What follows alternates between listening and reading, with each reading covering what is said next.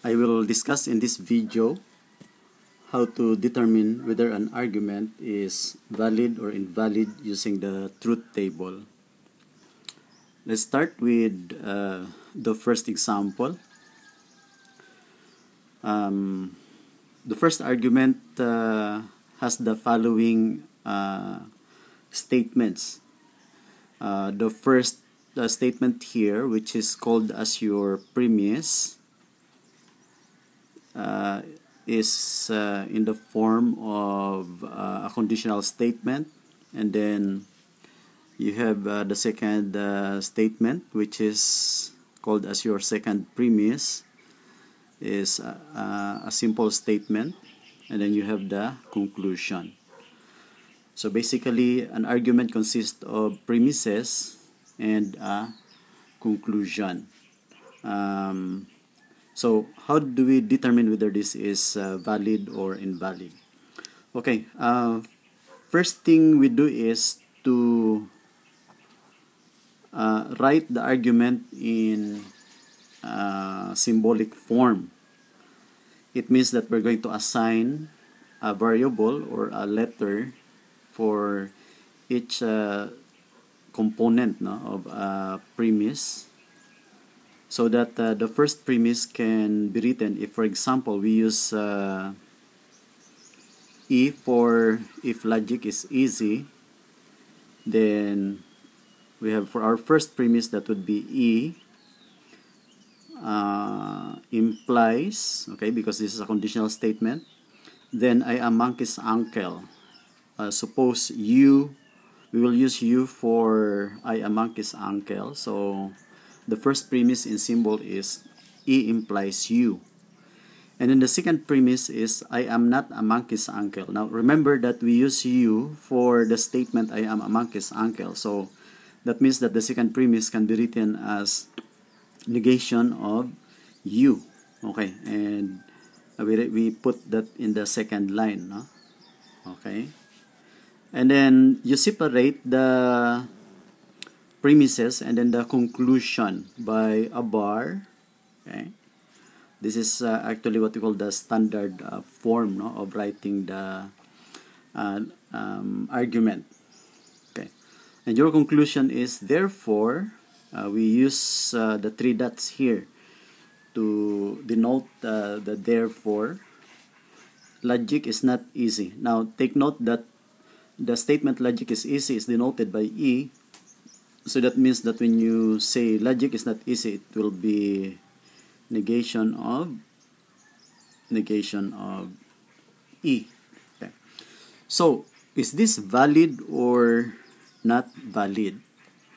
Uh, one method that we will use here is the truth table. Okay. Uh, there are two propositional variables here, so that means that uh, we have E and U.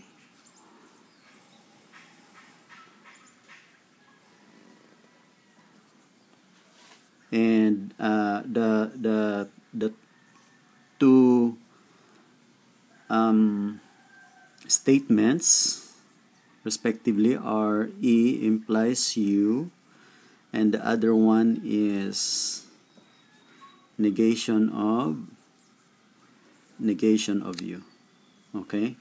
And then your conclusion is negation of e. Okay, I hope you can follow. Now um, so remember these are your premises. Now this is uh, your premise number one this is your premise number two and this is your conclusion. Okay uh, first let's determine the uh, possible combinations for the truth values of E and U. Uh, there are two propositional variables so that means that we have four rows okay? Uh, the first row is true and true for both uh, E and U. Then we have true for E and false for U.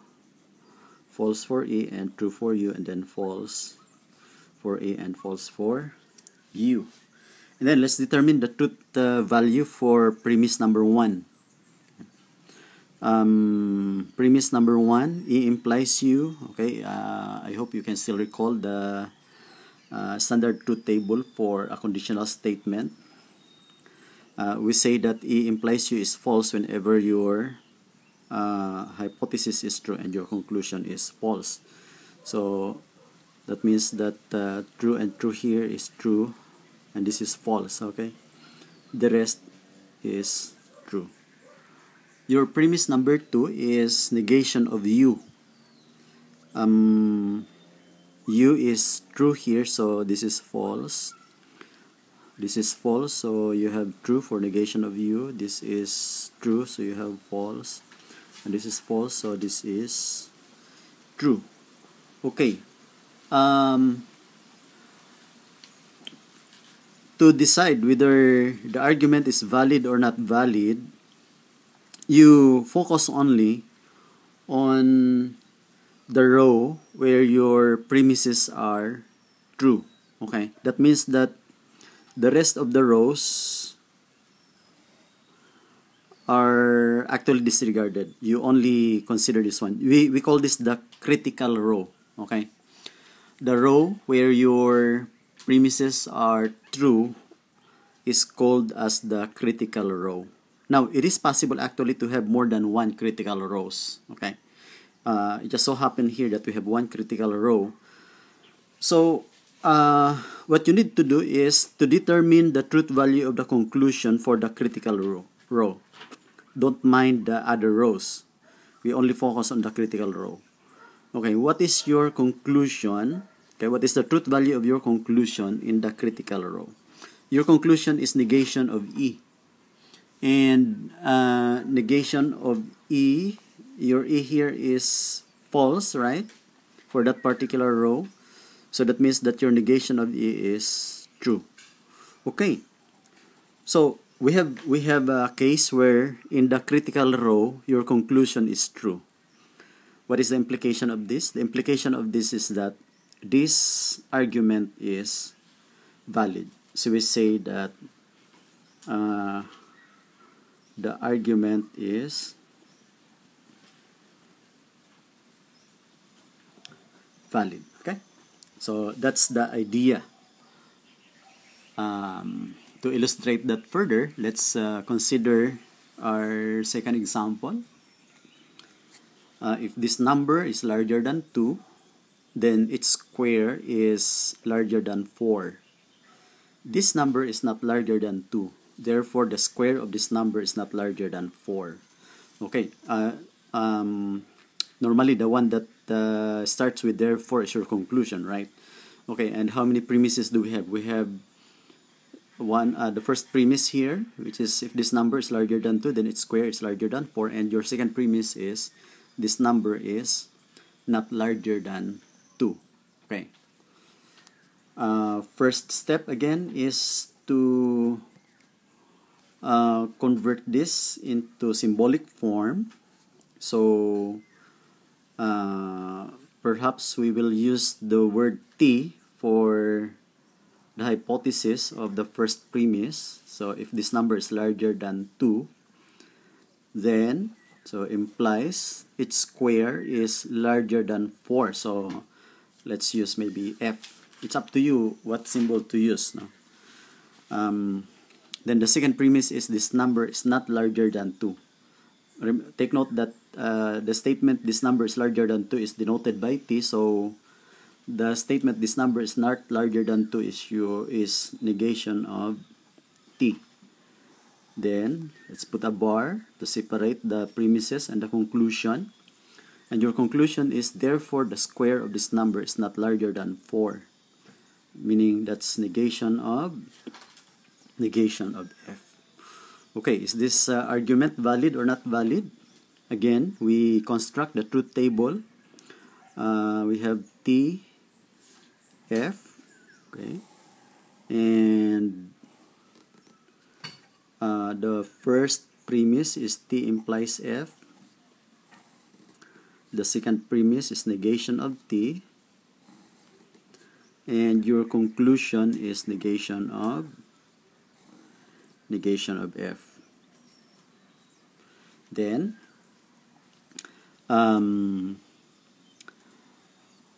this is true, true, true, false, false, true, false, false. Okay, what is the truth value for the first premise? So this is your first premise, this is the second premise, and this is your conclusion. Okay, course this is true, right? This one is false, this is true, and this is true. What about your second premise? Negation of t. t is true here, so this is false. This is true, so we have false, false, so we have true. This is true. Uh, okay, how many critical rows do we have? We uh, eliminate those uh, for which the one of the premises is false. Okay, that means that we only have two critical rows. Okay, again, critical rows are those rows for which the premises are true. Then from here, we're going to determine the truth value of our conclusion. Your conclusion is negation of f. So f is here, okay? If uh, f here is true, so that means negation of f is false. f here is false, so that means that the negation of f is uh, true. Now, um, we say that the argument is valid provided that your conclusion is true whenever uh, your conclusion is true in those rows which are for which your premises are true. In other words, for those rows which are considered to be critical rows, your conclusion must be true in order for the argument to be valid. But we have here we have here a row, a critical row where the conclusion is false. Okay? So that means that the this argument is not valid. So the argument is invalid. Okay? Uh, let's move to example number three. May, perhaps we will do this for our in our next video.